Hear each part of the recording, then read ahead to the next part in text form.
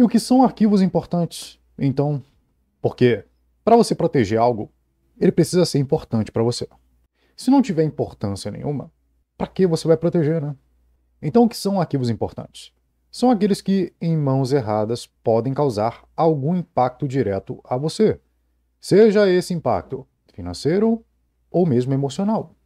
Se você acredita que um determinado arquivo que você esteja armazenando aí no seu computador ou no seu smartphone pode lhe causar algum tipo de prejuízo caso ele caia em mãos erradas, caso ele seja acessado por algum curioso, é um desafeto ou um hacker, ou, a depender do seu modelo de ameaça, até governos autoritários, você deve então proteger esses arquivos. Significa que eles são importantes para você. Ok? Exemplos aqui. Exemplos de arquivos importantes que talvez você tenha aí guardado no seu computador ou no seu smartphone e que talvez não estejam protegidos como deveriam. Comprovantes de residência. Comprovantes de residência informam ali dados importantes sobre você e a localização onde você mora, né? E o endereço físico seu. Pagamentos, comprovantes de pagamentos, notas fiscais. E em notas fiscais e ali nesses documentos tem dados pessoais, dados da sua identificação pessoal ou seu nome completo, que pode ser usado por atacantes para aplicar golpes em seu nome ou para clonar sua identidade, por exemplo. Arquivos com senhas, códigos de autenticação, credenciais, caso você os armazene em um arquivo de texto ou mesmo em um banco de dados ou em um gerenciador de senhas. Aí eu comentei sobre gerenciador de senhas lá na Cyberlive dedicada a isso, a senhas e contas.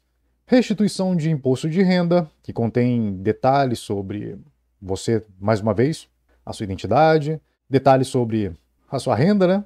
planilhas de investimentos, relatórios, backups de carteiras digitais, como carteiras de criptomoedas, Bitcoin, por exemplo, fotos da sua identidade, CNH, carteira de trabalho, passaporte, a versão impressa e digitalizada desses documentos, que, obviamente, poderão ser usados para poder clonar sua identidade ou para criar contas bancárias em seu nome, enfim, roubo de identidade, ele acontece através do furto aí dessas informações, de algumas dessas informações ou todas elas reunidas de alguma forma.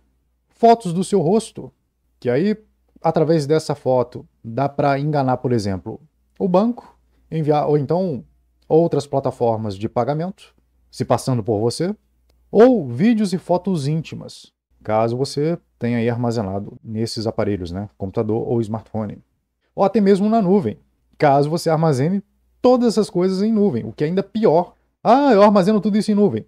É bem pior. Histórico de conversas, por exemplo, que você armazena o seu backup aí do WhatsApp localmente ou na nuvem, documentos em PDFs, documentos importantes sobre você, sobre o seu trabalho, o que você faz, ou relacionado a, enfim, a sua empresa, ao cargo que você tem, enfim. Bom, esses são alguns exemplos de arquivos importantes. Agora, se você não tem nenhum desses arquivos aqui, se você acha que não tem nenhum arquivo importante aí, armazenado no seu smartphone ou no seu computador, olha, essa live não é para você. Mas aí você pode perguntar: Mas Anderson, esses arquivos já não estão seguros? Seja na minha máquina, ou no meu smartphone, ou na nuvem, na nuvem da Google, da Microsoft, iCloud, da, da Apple? Vamos lá, depende. Depende. Vai depender da resposta a essas perguntas aqui que eu vou fazer agora para você. Você evita armazenar documentos importantes. Esses documentos, como esses exemplos aqui que eu listei. Na nuvem, você criptografa as pastas onde estão esses arquivos você criptografa todos os seus dispositivos, seja o computador ou o smartphone. E não é criar uma senha de bloqueio de tela, estou falando de criptografia mesmo. Na dúvida, acredito que não, hein? Se você tiver dúvida aqui, pode ser que não, hein? Você restringe a maioria dos apps a acessar o armazenamento do seu smartphone, por exemplo? Você verifica os programas que você baixa da internet? Você verifica os anexos de e-mail antes de baixá-los, antes de abri-los? Você cria backups e cópias desses arquivos em discos externos, como pendrive, por exemplo?